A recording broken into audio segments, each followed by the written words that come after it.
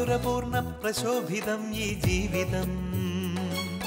ആർദ്രമാം ദൈവസ്നേഹം നിറയും പൂവനം. മാധുരപൂർണ പ്രശോഭിതം ഈ ജീവിതം. ആർദ്രമാം ദൈവസ്നേഹം നിറയും പൂവനം.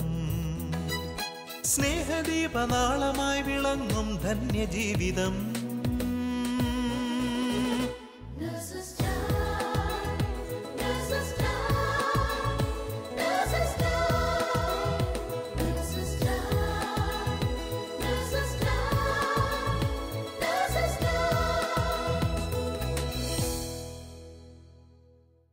ഈശോ മിശിഹായ്ക്ക് സ്തുതിയായിരിക്കട്ടെ.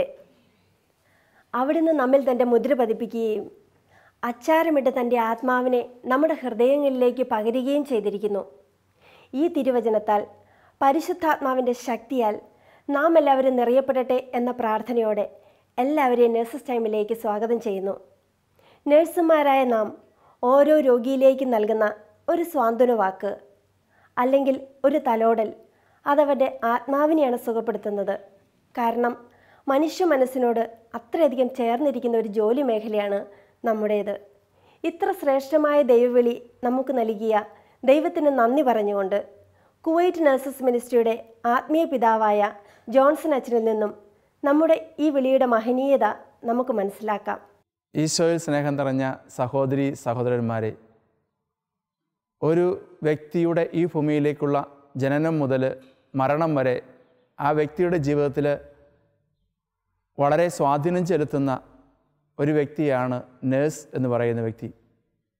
ഒരു ശിശുവായിട്ട് ഈ ഭൂമിയിലേക്ക് ജനിക്കുന്ന ആ നിമിഷം മുതൽ മരണം വരെ ഈ വ്യക്തിയുടെ ജീവിതത്തിൽ ഇടപെടുവാനായിട്ട് ഒരു സാന്നിധ്യമായിട്ട് തീരുന്ന ഒരു വ്യക്തിയാണ് നേഴ്സസ്.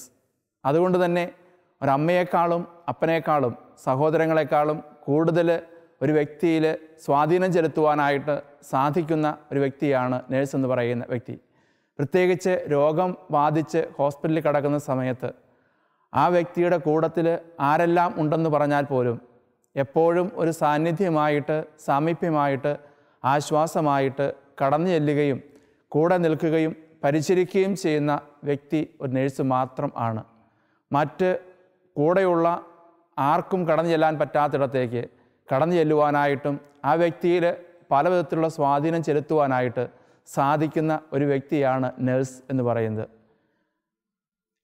ഓരോ നേഴ്സിനെ സംബന്ധിച്ചിടത്തോളം ചിന്തിക്കുമ്പോൾ അവർ ആദ്യമേയൊക്കെ നേഴ്സിംഗ് പ്രൊഫഷനിലേക്ക് കടന്നു പോകുമ്പോൾ പഠനത്തിലേക്ക് പോകുമ്പോഴോ അല്ലെങ്കിൽ ജോലി മേഖലയിലേക്ക് കടന്നു ചെല്ലുമ്പോഴോ അവർ ചിലപ്പോൾ ജോലിയെക്കുറിച്ചും അതിനെക്കുറി അതിന്റെ ബാക്കി കാര്യങ്ങളെക്കുറിച്ചും മാത്രം ചിന്തിച്ചുകൊണ്ട് കടന്നു പോകുന്നു.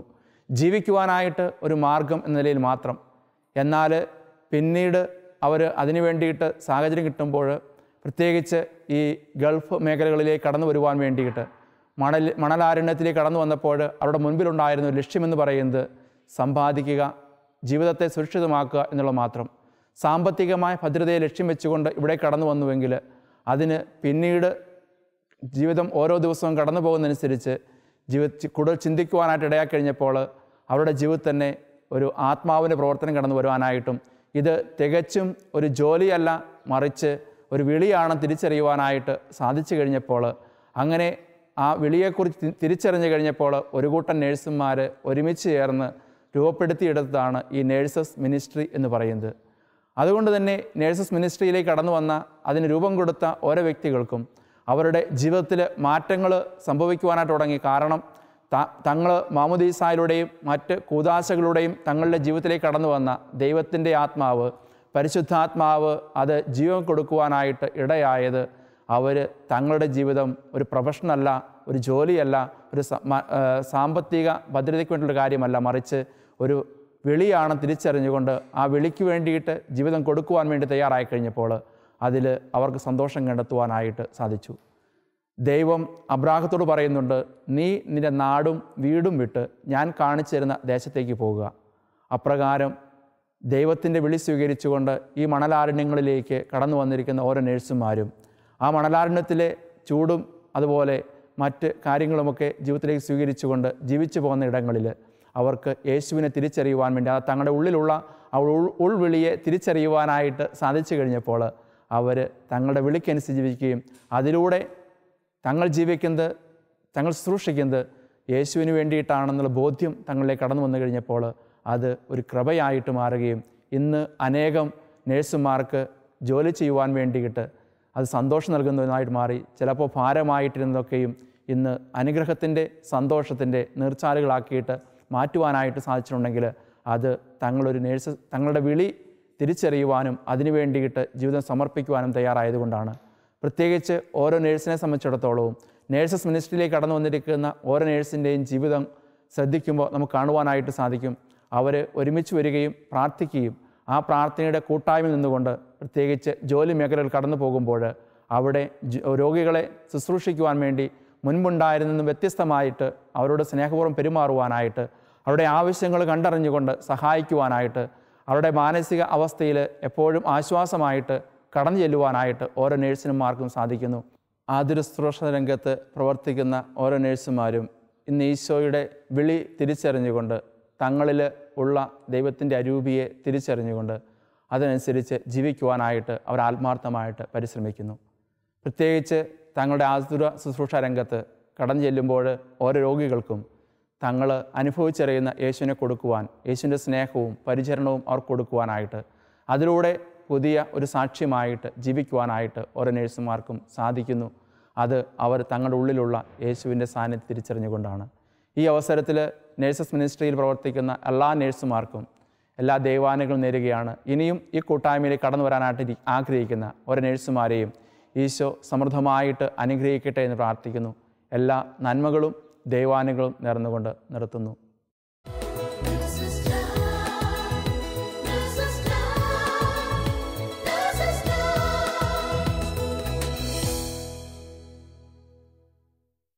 ബലഹീനരെന്ന് വിചാരിക്കുന്ന നമ്മൾ എത്രയേറെ ദൈവത്താൽ തിരഞ്ഞെടുക്കപ്പെട്ടവരാണെന്ന് ബഹുമാനപ്പെട്ട ജോൺസൺ അച്ഛനിലൂടെ നാം ഇപ്പോൾ ശ്രവിച്ചുവല്ലോ മരുഭൂമിയിലും നിനക്ക് ഞാൻ സമൃദ്ധി നൽകും എന്ന ഏശയാ പ്രവാചകനിലൂടെ അരളി ചെയ്ത ദൈവത്തിന്റെ വാഗ്ദാനം സ്വന്തം ജീവിതത്തിൽ അനുഭവിച്ചറിഞ്ഞ ചില നഴ്സുമാരെ നമുക്കിപ്പോൾ ശ്രവിക്കാം. ഈശോ മിശിഹായിക്ക് സ്തുതിയായിരിക്കട്ടെ. സങ്കീർത്തനങ്ങൾ അമ്പത്തിയാറാം അധ്യായം പതിമൂന്നാം തിരുവചനം ഇങ്ങനെ പറയുന്നു. ഞാൻ ദൈവസന്നിധിയിൽ ജീവന്റെ പ്രകാശത്തിൽ നടക്കേണ്ടതിന് അവിടുന്ന് എന്റെ ജീവനെ മരണത്തിൽ നിന്നും പാദങ്ങളെ വീഴ്ചയിൽ നിന്നും രക്ഷിച്ചിരിക്കുന്നു.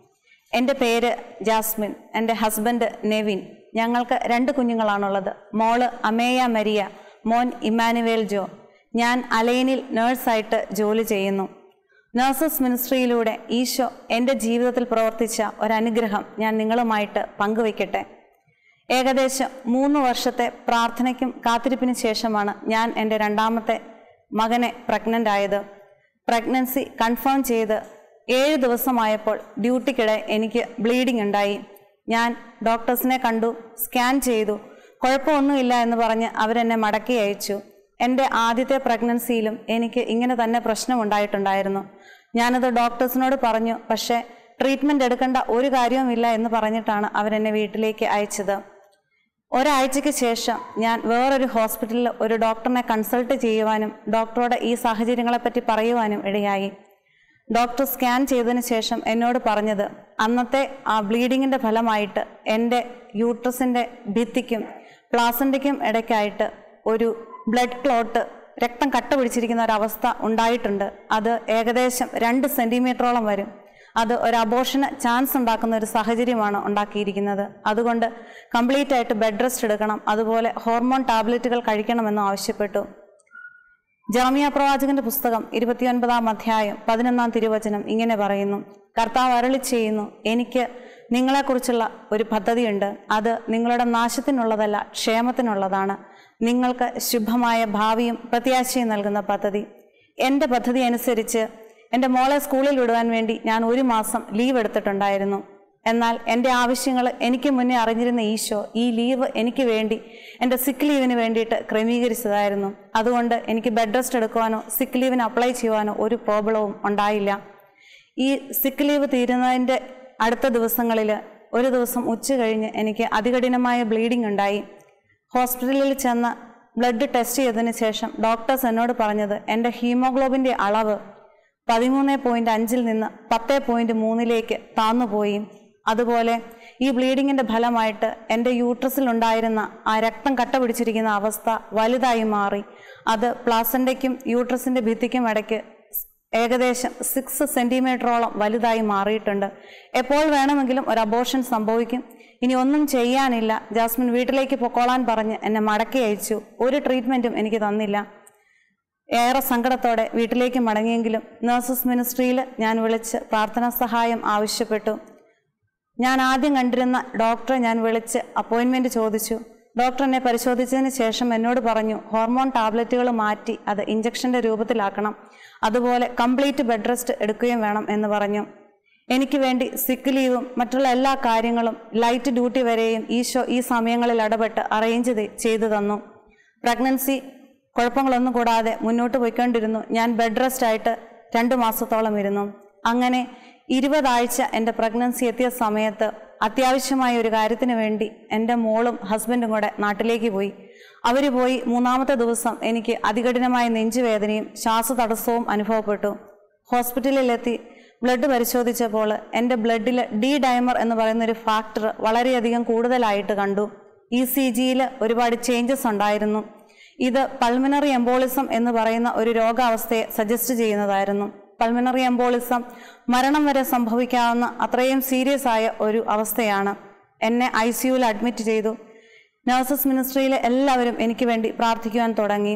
എന്റെ വേദനയ്ക്ക് കുറവുകളൊന്നും ഉണ്ടായില്ല. ഈ സമയത്ത് ഡോക്ടേഴ്സ് എന്നോട് ക്ലക്സൈൻ എന്ന് പറയുന്ന ഒരു ഇഞ്ചക്ഷൻ എടുക്കുവാനായിട്ട് ആവശ്യപ്പെട്ടു. ക്ലക്സൈൻ എന്ന ഇഞ്ചക്ഷൻ ബ്ലഡിനെ വെള്ളം പോലെ ഡൈലൂട്ട് ചെയ്യുന്ന ഒരു ഇഞ്ചക്ഷനാണ് നേഴ്സായ എനിക്കറിയാം ഈ ഇഞ്ചക്ഷൻ എടുത്താൽ ഇത്രയും വലിയ ഹെമറ്റോമ ഗർഭപാത്രത്തിലുള്ള ഞാൻ അബോർഷൻ ഉണ്ടാകാനായിട്ട് സാധ്യതയുണ്ട് എന്ന് എനിക്ക് മനസ്സിലായി. ഞാൻ ക്ലക്സൈൻ ഇഞ്ചക്ഷൻ റെഫ്യൂസ് ചെയ്തു. പക്ഷേ ഈ സമയത്ത് എന്നെ കരുതുന്ന ഈശോ എനിക്ക് ചുറ്റും നഴ്സുമാരെ അയച്ച് എന്റെ കട്ടിലിന് ചുറ്റും അവരിരുന്ന് പ്രാർത്ഥിക്കുന്ന ഒരു അനുഭവം ഉണ്ടായി. അവരുടെ പ്രാർത്ഥനയിലും സ്നേഹത്തിലും ഞാൻ കൂടുതൽ വിശ്വാസത്തോടെ മുന്നോട്ട് പോയി. എന്നോട് അവർ പറഞ്ഞു ക്ലക്സൈൻ എടുക്കുന്നതിന് പേടിക്കേണ്ട. ഈശോയുടെ തിരുരക്തമാണ് നിന്റെ ശരീരത്തേക്ക് കുത്തിവെക്കുന്നതെന്ന് മാത്രം നീ ഓർക്കുക. ഈശോയ്ക്ക് അസാധ്യമായിട്ടൊന്നുമില്ല. ദൈവത്തിൽ പൂർണമായിട്ടും ആശ്രയിക്കാൻ എന്നോട് പറഞ്ഞു. എന്റെ ഹസ്ബൻഡ് എന്റെ അടുത്തില്ലാത്ത ഒരു അവസ്ഥ അവസ്ഥയാണ് അന്നേരം ഉണ്ടായിരുന്നത്. പക്ഷേ ഈ സമയത്ത് പ്രാർത്ഥനയിലൂടെ ശക്തി പ്രാപിക്കാൻ എനിക്ക് കഴിഞ്ഞു. ഞാൻ ക്ലക്സൈൻ എന്ന ഇഞ്ചക്ഷൻ എടുത്തു. അതുവരെ എനിക്ക് ചെറിയ ബ്ലീഡിംഗ് ഉണ്ടായിരുന്നു. അതിൽ നിന്ന് മാറി വേറെ ഒന്നും എനിക്ക് സംഭവിച്ചില്ല. എന്റെ കുഞ്ഞ് സുരക്ഷിതമായി തന്നെ ഉള്ളിലുണ്ടായിരുന്നു. ഈ സമയങ്ങളിൽ ഞാൻ കടന്നു പോകാത്ത ചെക്കപ്പുകളില്ല. സി ടി സ്കാൻ എന്നെ ചെയ്തു. സി ടി സ്കാനിൽ വളരെയധികം റേഡിയേഷൻ ഉണ്ട്. ഇത് കുഞ്ഞിന് അംഗവൈകല്യങ്ങൾ ഉണ്ടാക്കാവുന്ന ഒരു സാഹചര്യം സൃഷ്ടിക്കും. പക്ഷേ ഇവിടെയെല്ലാം ഈശോ എന്നെ കൈപിടിച്ച് നടത്തി. എന്റെ നെഞ്ചുവേദനയ്ക്ക് കുറവുകളൊന്നും ഉണ്ടായില്ല. നഴ്സസ് മിനിസ്ട്രിയിൽ ചെയിൻ പ്രയർ സ്റ്റാർട്ട് ചെയ്ത് അവർ പ്രാർത്ഥിക്കാനായിട്ട് തുടങ്ങി. ഏകദേശം എട്ട് മണിക്കൂറോളം ചെയിൻ പ്രയർ കഴിഞ്ഞപ്പോൾ എന്റെ വേദന പെട്ടെന്ന് അപ്രത്യക്ഷമായി. എന്റെ ഇ സി ജിയിൽ ഉണ്ടായിരുന്ന വേരിയേഷൻസ് മാറി. ബ്ലഡ് റിസൾട്ട് നോർമലായിട്ട് വന്നു. അങ്ങനെ ഈശോ പൾമിനറി എംബോളിസം എന്ന എന്റെ അസുഖത്തെ അവിടെ വെച്ച് സുഖപ്പെടുത്തി. പ്രഗ്നൻസി മുന്നോട്ട് പോകുമ്പോൾ എനിക്ക് വളരെയധികം പ്രശ്നങ്ങളുണ്ടായി. എന്റെ യൂട്രസിൽ വെള്ളം സാധാരണയിൽ കവിഞ്ഞ് രണ്ട് ലിറ്ററോളം കൂടുതലായിട്ട് ഉണ്ടായി. ഷുഗറിന്റെ ലെവൽ വളരെയധികം ഉയർന്നു. ബി പി കൂടി നിന്നു. ഏകദേശം അഞ്ച് പ്രാവശ്യത്തോളം എനിക്ക് യൂട്രസിലും യൂറിനിലും ഇൻഫെക്ഷൻ ഉണ്ടാവുകയും പലതരം ആന്റിബയോട്ടിക്കുകൾ എടുക്കേണ്ടിയും വന്നു. ഈ സമയത്തൊക്കെ എന്റെ ഡോക്ടേഴ്സ് എന്നോട് പറയുമായിരുന്നു എപ്പോഴും ഒരു നേരത്തെയുള്ള പ്രസവത്തിന് വേണ്ടി കരുതിയിരിക്കണമെന്ന്. എന്നാൽ ഏഷ്യ പ്രവാചകന്റെ പുസ്തകം അറുപത്തിയാറാം അധ്യായം ഒൻപതാം തിരുവചനം ഇങ്ങനെ പറയുന്നു. പ്രസവത്തോളം എത്തിച്ചിട്ട് പ്രസവം ഉണ്ടാകാതിരിക്കുമോ? ജന്മം നൽകുന്ന ഞാൻ തന്നെ ഗർഭപാത്രം അടച്ചു കളയുമോ? ഈ വചനം ഞാൻ എന്നും ഏറ്റുപറഞ്ഞ് പ്രാർത്ഥിക്കുമായിരുന്നു. ഈ വചനത്തിലൂടെ എനിക്ക് ഒരുപാട് ശക്തി ലഭിച്ചു. അങ്ങനെ എന്റെ ഗർഭകാലം മുന്നോട്ട് പോയി. ഒരു നേരത്തെയുള്ള പ്രസവം കരുതിയിരിക്കാൻ പറഞ്ഞ എന്റെ ഡോക്ടേഴ്സ് ഏകദേശം തേർട്ടി സിക്സ് വീക്സ് എത്തിയപ്പോഴേക്കും എന്നെ സിസേറിയന് പോസ്റ്റ് ചെയ്തു.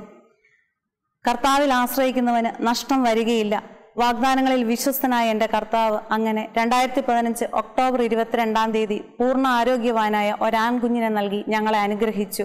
അവനാണ് ഇമ്മാനുവേൽ ജോ നെവിൻ. സിസേറിയന് ശേഷവും അത് കഴിഞ്ഞിട്ടും എനിക്ക് ഒരുപാട് പ്രശ്നങ്ങളുണ്ടായി. ഒരുപാട് ആരോഗ്യ പ്രശ്നങ്ങളിലൂടെയും വേദനയിലൂടെയും ഞാൻ കടന്നുപോയി. എന്നാൽ ഈ സമയത്തൊക്കെയും ഈശോ എന്നെ കൈപിടിച്ച് നടത്തുന്ന ഒരു അനുഭവമാണ് എനിക്ക് ഉണ്ടായത് എന്റെ ജീവിതത്തിൽ എന്ത് സംഭവിച്ചാലും അത് ഈശോ അറിയാതെ നടക്കുകയില്ല എന്നുള്ള ഒരു വലിയ ബോധ്യം ഈ സമയത്ത് എനിക്ക് ഉണ്ടായി. അങ്ങനെ അബോഷൻ ആകുമ്പോൾ വന്നോളാൻ പറഞ്ഞ് എന്നെ വിട്ട ഹോസ്പിറ്റലിൽ നിന്നും പൂർണ ആരോഗ്യവാനായ ഒരു കുഞ്ഞിനെ കയ്യിലെടുത്തുകൊണ്ട് ഇറങ്ങുവാനായിട്ട് സർവശക്തനായ ദൈവം എന്നെ അനുവദിച്ചു. സങ്കീർത്തകനോടൊപ്പം ഞാനും പറയുന്നു കർത്താവെ ഞാൻ എന്നേക്കും അവിടുത്തെ കാരുണ്യം പ്രകീർത്തിക്കും. എന്റെ അധരങ്ങൾ തലമുറകളോട് അവിടുത്തെ വിശ്വസ്തത പ്രഘോഷിക്കും. എന്തെന്നാൽ അവിടുത്തെ കൃപ എന്നേക്കും നിലനിൽക്കുന്നു. അവിടുത്തെ വിശ്വസ്തത ആകാശം പോലെ സുസ്ഥിരവും. ഈശോയെ നന്ദി ഈശോയെ സ്തുതി ഈശോയെ ആരാധന.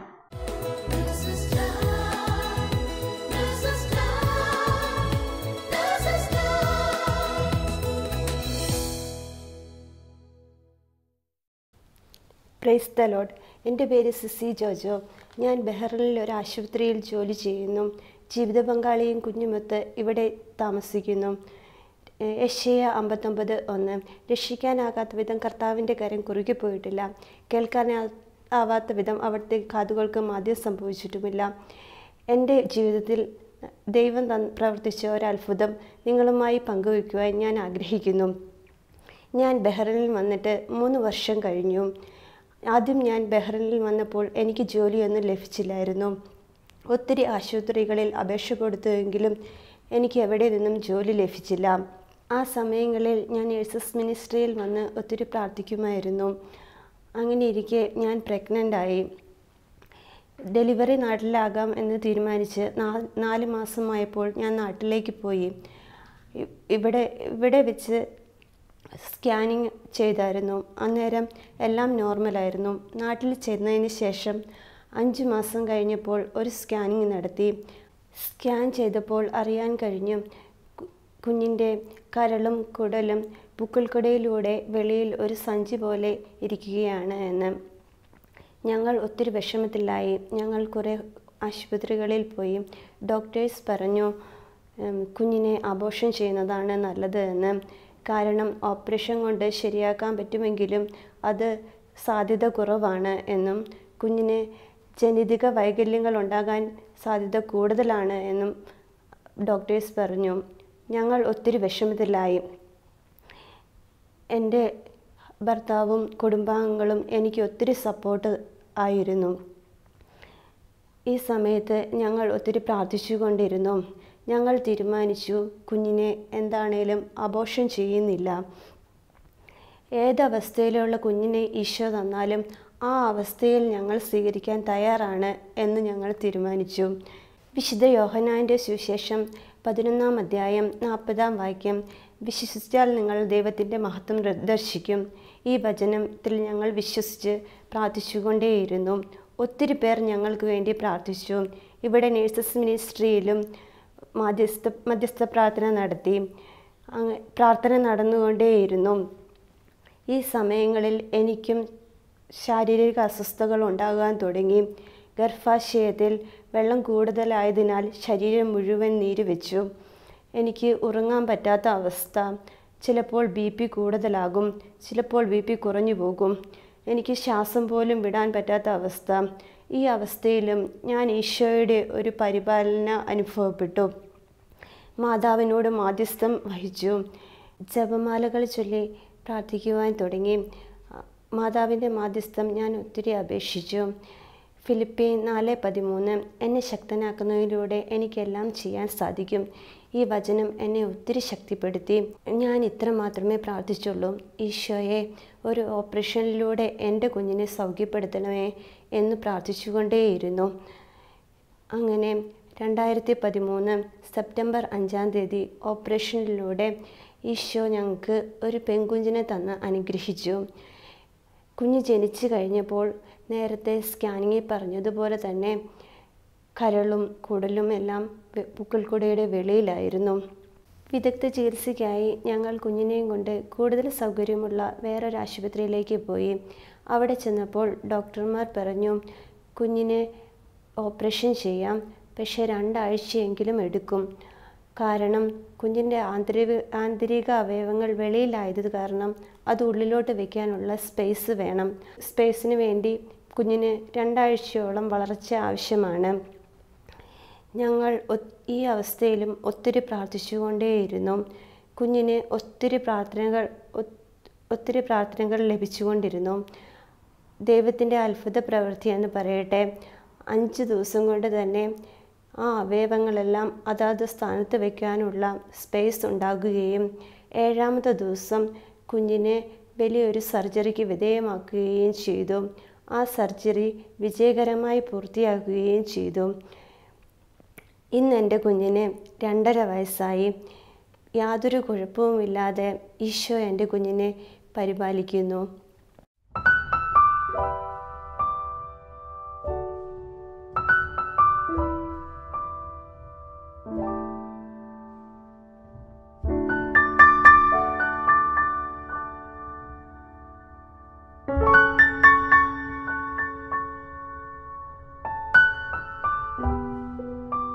ഏഷ്യ മുപ്പത് ഇരുപത് ഇരുപത്തൊന്നിൽ പറയുന്നത് പോലെ കർത്താവ് നിനക്ക് കഷ്ടതയുടെ അപ്പവും ക്ലേശത്തിന്റെ ജലവും തന്നാലും നിൻ നിന്റെ ഗുരു നിന്നിൽ നിന്നും മറിഞ്ഞിരിക്കുകയില്ല. നിന്റെ നയനങ്ങൾ നിന്റെ ഗുരുവിനെ ദർശിക്കും. നീ ഇടത്തോട്ടോ വലത്തോട്ടോ തിരിയുമ്പോൾ നിന്റെ കാതിൽ കാതുകൾ പിന്നിൽ നിന്നൊരു സ്വരം ശ്രവിക്കും ഇതാണ് വഴി ഇതിലേ പോകുക. എന്റെ സഹോദരങ്ങളെ എന്റെ ജീവിതത്തിൽ ഈശോ എന്നെ സമൃദ്ധമായി അനുഗ്രഹിച്ചതുപോലെ നിങ്ങളെ ഓരോരുത്തരെയും ഈശോ സമൃദ്ധമായി അനുഗ്രഹിക്കട്ടെ എന്ന് പ്രാർത്ഥിക്കുന്നു. ആമേൻ.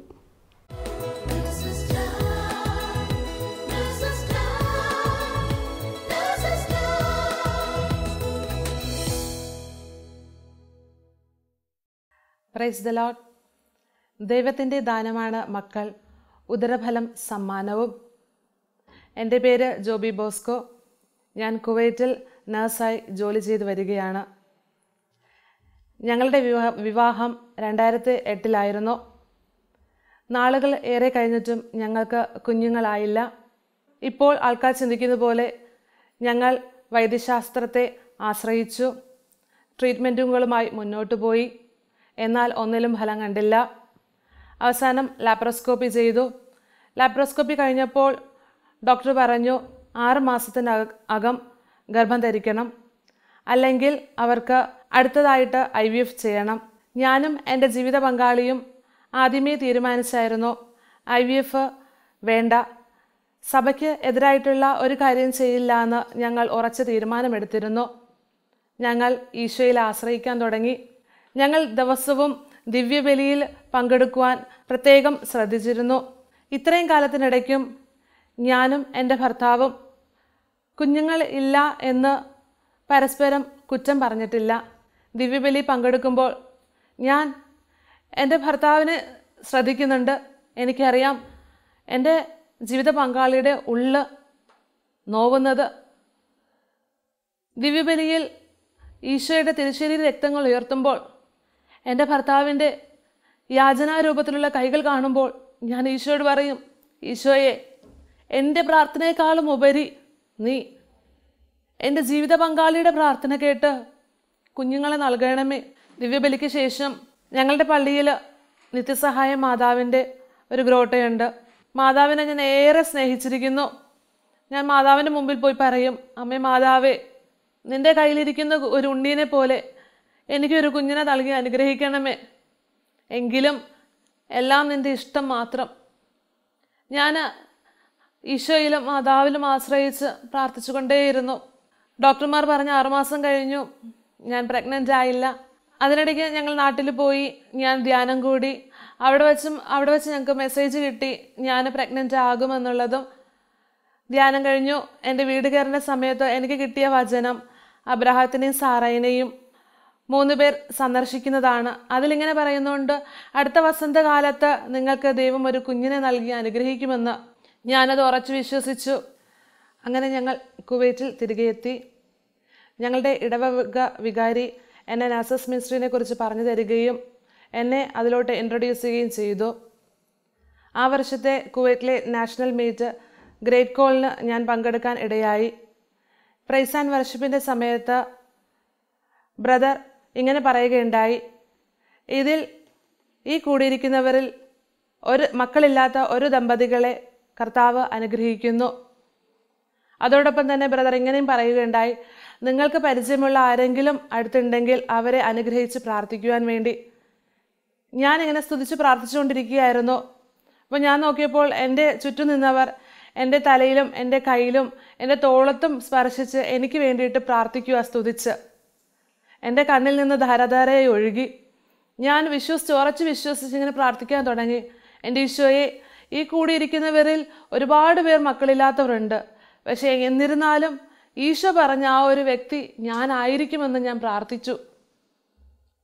അതുപോലെ തന്നെ ഞാൻ സ്വപ്നം കണ്ട് പ്രാർത്ഥിക്കുമായിരുന്നു ഞാൻ ഇങ്ങനെ സ്വപ്നം കാണും. ഞാൻ പ്രഗ്നന്റ് ആകുന്നത് ഞാൻ ഡെലിവറി ആകുന്നത് ഞാൻ കുഞ്ഞിനെയും കൊണ്ട് നാട്ടിൽ പോകുന്നു. ഇങ്ങനെ ഫ്ലൈറ്റിൽ യാത്ര ചെയ്യുന്നത് നാട്ടിൽ എന്നെ സ്വീകരിക്കാൻ വേണ്ടിയിട്ട് എയർപോർട്ടിൽ വരുന്നു. ഞാൻ നാട്ടിൽ ചെന്ന് കുഞ്ഞിന് മാമോദിസ കൊടുക്കുന്നു. ഇതൊക്കെ ഞാൻ സ്വപ്നം കണ്ട് പ്രാർത്ഥിക്കുമായിരുന്നു അതുപോലെ തന്നെ അനുഗ്രഹ വചനങ്ങൾ ഉരുവിട്ട് ഞാൻ പ്രാർത്ഥിക്കും. ദൈവത്തിന്റെ ദാനമാണ് മക്കൾ നീ ഗർഭം ധരിച്ചൊരു പുത്രനെ പ്രസവിക്കും. ഇതൊക്കെ എന്റെ ജീവിതത്തിൽ ദിനചര്യയായി. ഞാനിങ്ങനെ ഉരുവിട്ടു പല പ്രാവശ്യം ഉരുവിട്ട് ഉരുവിട്ട് ഉരുട്ട് ഉരുവിട്ട് പ്രാർത്ഥിക്കും. അങ്ങനെ ആ വർഷം മെയ് മാസത്തിൽ എനിക്ക് എന്റെ ഉള്ളിൽ നിന്ന് ആരോ ഇങ്ങനെ പറയുന്നത് പോലെ ഈ ഈ പ്രാവശ്യം ദൈവം കുഞ്ഞിനെ നൽകും നൽകും നൽകും എന്നുള്ളത്. അങ്ങനെ ആ മാസം മെയ് മാസത്തിൽ ഞാൻ പ്രഗ്നന്റ് ആയി. ദൈവം ഞങ്ങൾക്ക് മിടുക്കനായ ഒരു ആൺകുഞ്ഞിനെ നൽകി അനുഗ്രഹിച്ചു. മോന്റെ പേര് ജുവാൻ ബോസ്കോ ആന്റണി ഈശോയെ അനുഭവിച്ചറിഞ്ഞതിന് ശേഷം എന്റെ ജോലി മേഖല ഞാനിപ്പോൾ തിരിച്ചറിയുന്നുണ്ട്. ഏറ്റവും വലിയ സുവിശേഷ വേലയാണ് ഞാൻ ചെയ്യുന്നതെന്ന്. മുമ്പൊക്കെ യാന്ത്രികമായിട്ടായിരുന്നു ജോലിക്ക് പൊയ്ക്കൊണ്ടിരുന്നത്. പോവുക ജോലി ചെയ്യുക തിരിച്ചു വരിക അതിലൊരു ആത്മാർത്ഥത എനിക്കില്ലായിരുന്നു. എന്നാൽ ഇപ്പോൾ എന്റെ ജോലി ഞാൻ ചെയ്യുന്നത് ഓരോ ദിവസവും എനിക്ക് അസൈൻമെന്റ് കിട്ടുന്ന കുഞ്ഞുങ്ങളെ കയ്യിലെടുക്കുമ്പോൾ ഞാൻ ഈശോയ്ക്ക് സമർപ്പിക്കും. എന്റെ ഈശോയെ ഈ കുഞ്ഞിന്റെ രോഗം എന്തിരുന്നായിരുന്നാലും കർത്താവെ നിനക്ക് ഞാൻ സമർപ്പിക്കുന്നു. നീ തൊട്ട് അനുഗ്രഹിക്കണമേ എന്ന് പറഞ്ഞുകൊണ്ട് ചെയ്യുവാൻ വേണ്ടി എനിക്കിപ്പോൾ സാധിക്കുന്നുണ്ട്. ഈശോയ്ക്ക് വേണ്ടി ജോലി ചെയ്യാനും ഈശോയ്ക്ക് വേണ്ടി കൈകളും കാലുകളും ആകുവാൻ വേണ്ടി ഞാൻ ആഗ്രഹിക്കുന്നു. ഞാൻ പ്രാർത്ഥിക്കുന്നു. ഈശോയെ നന്ദി ഈശോയെ സ്തുതി.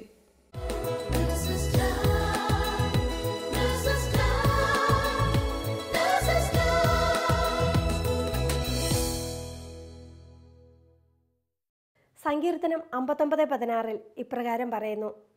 എന്റെ കഷ്ടതയുടെ കാലത്ത് അങ്ങ് എന്റെ കോട്ടയവും അഭയവുമായിരുന്നു. ഈ തിരുവചനം ഇപ്പോൾ നാം ശ്രവിച്ച സഹോദരിമാരുടെ ജീവിതത്തിൽ നിറവേറിയതിനെ ഓർത്ത് നമ്മുടെ ഈശോയ്ക്ക് നന്ദി പറയാം. ചിലപ്പോൾ നമ്മുടെ ജീവിതത്തിൽ എന്തുകൊണ്ട് ഇത്തരമൊരു ഇടപെടൽ ഉണ്ടാവുന്നില്ല എന്ന ചോദ്യം ഉയർന്നേക്കാം. എന്നാൽ ക്ഷീണം കൂടാതെ പ്രവർത്തിക്കുന്ന ആന്തരിക അവയവങ്ങളും സൗഖ്യത്തോടെ ഇരിക്കുന്ന ജീവിത പങ്കാളിയും മക്കളും എന്തിനേറെ ദിവസവും തളർച്ച കൂടാതെ കിടക്ക വിട്ടെണീക്കുന്ന നമ്മൾ ഓരോരുത്തരും ദൈവത്തിന്റെ അത്ഭുതങ്ങളാണ്. അതോടൊപ്പം നമ്മുടെ ജീവിതത്തിൽ ദൈവം അനുവദിച്ചു തരുന്ന സൗഖ്യവും നേട്ടങ്ങളും മറ്റുള്ളവരുമായി പങ്കുവച്ച് ക്രിസ്തീയ അനുഭാവികളായി ക്രിസ്തുവിന്റെ സാക്ഷികളായി ജീവിക്കുവാനായി നമുക്ക് ഓരോരുത്തർക്കും തയ്യാറെടുക്കാം.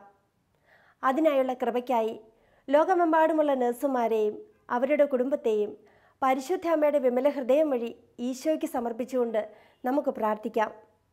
ഓരോ നഴ്സും ഒരു വിശുദ്ധനായി തീരട്ടെ ഒരു വിശുദ്ധയായി തീരട്ടെ ദൈവമാതാവും ഞങ്ങളുടെ അമ്മയുമായ കന്യകാമറിയമേ ഫാത്തിമാനാഥേ എന്നെയും എന്റെ കുടുംബത്തെയും തിരുസഭയെയും മാനവകുലത്തെയും ലോകമെമ്പാടുമുള്ള നേഴ്സുമാരെയും അങ്ങേ വിമല ഹൃദയത്തിന് പ്രതിഷ്ഠിക്കുന്നു. അങ്ങേ ശക്തിയുള്ള സംരക്ഷണത്തിൽ ഞങ്ങളെ കാത്തുകൊള്ളണമേ. ആത്മീയവും ശാരീരികവുമായ സകല അപകടങ്ങളിലും ക്ലേശങ്ങളിലും നിന്ന് ഞങ്ങളെ രക്ഷിച്ചു കൊള്ളണമേ എല്ലാറ്റിലും ദൈവേഷ്ടം കണ്ടെത്തി നിറവേറ്റുവാനും യേശുവിന്റെ തിരുഹൃദയത്തിന് പ്രീതികരമായ വിധത്തിൽ ജീവിച്ച് സ്വർഗഭാഗ്യത്തിൽ എത്തിച്ചേരുവാനും. കാരുണ്യനാഥേ ഞങ്ങളുടെ സ്നേഹമുള്ള അമ്മേ ഞങ്ങളെ സഹായിക്കണമേ. ആമേൻ.